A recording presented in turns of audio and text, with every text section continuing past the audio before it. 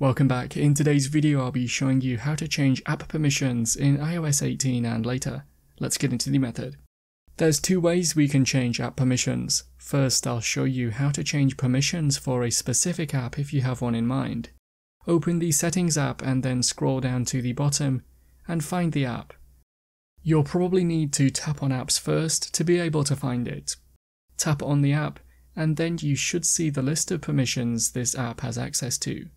You can tap on one of these, such as location, to be able to change the access for this permission.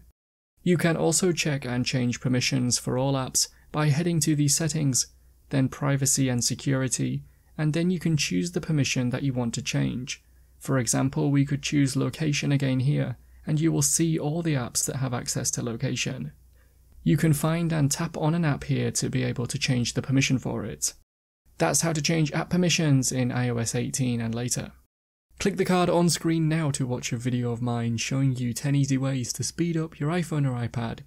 If you have any questions then let me know in the comments below and if you did find today's video helpful remember to leave a like and feel free to subscribe for more tips in the future.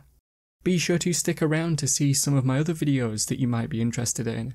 Thanks so much for watching and I will see you in another video.